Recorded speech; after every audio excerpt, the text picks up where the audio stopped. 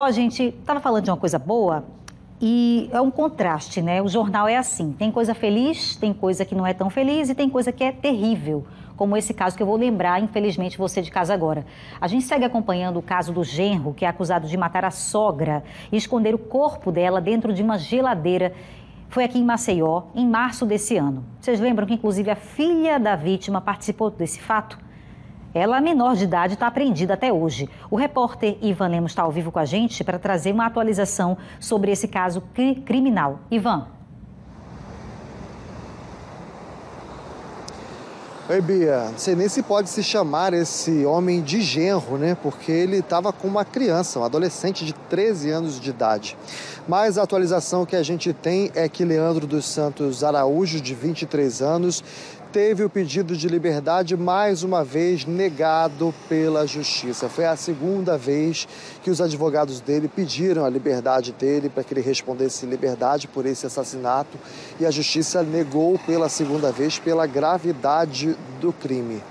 Esse crime, segundo a adolescente de 13 anos que confessou à polícia, aconteceu no dia 1 de março deste ano no bairro do Jacintinho. A garçonete Flávia Carneiros não aceitava o relacionamento da filha, obviamente, uma menina de 13 anos, com esse homem de 23. E aí, numa discussão, os dois resolveram matar a Flávia.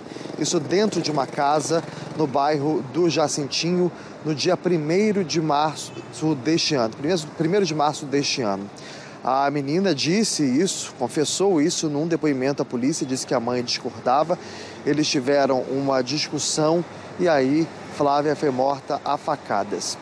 Pior ainda dessa história, não só o assassinato, que já é desprezível, é um crime.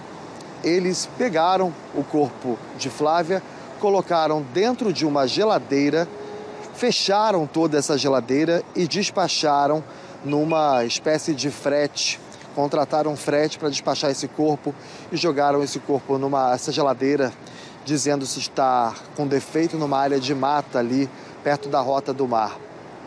O homem que fez esse frete desconfiou desse caso, acionou a polícia, que foi até o local e encontrou o corpo de Flávia dentro dessa geladeira. A polícia começou a investigar, encontrou a adolescente, o namorado de 23 anos, numa casa no bairro do Benedito Bentes. Eles alugaram essa casa logo depois do crime, foram morar um dia depois desse crime. A polícia ainda descobriu que eles dormiram no local em que Flávia foi assassinada no dia em que ela foi morta. A casa estava toda manchada de sangue e eles ainda dormiram no local. O pai de Leandro também chegou a ser preso na época, porque, segundo a polícia, ele ajudou a ocultar o corpo de Flávia. A adolescente de 13 anos permanece internada e Leandro, segundo a justiça, vai continuar preso. Teve o pedido de liberdade negado pela segunda vez. Volto com você, Bia.